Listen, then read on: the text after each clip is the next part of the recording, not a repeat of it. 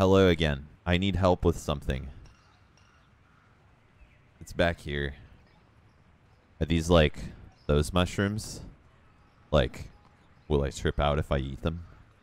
No idea. Why not try and find out? I'm gonna go in light. I will eat 13 of them first. I feel weird. They're hurting my stomach. I ate too many. My body is a Horadric cube of fungi, and it's transmuting shit. I'm going to need a doctor. Well, the cathedral is right there if you need help and healing. Can you call me an Uber, please? Or if you have that badass dragon mount. Whoa.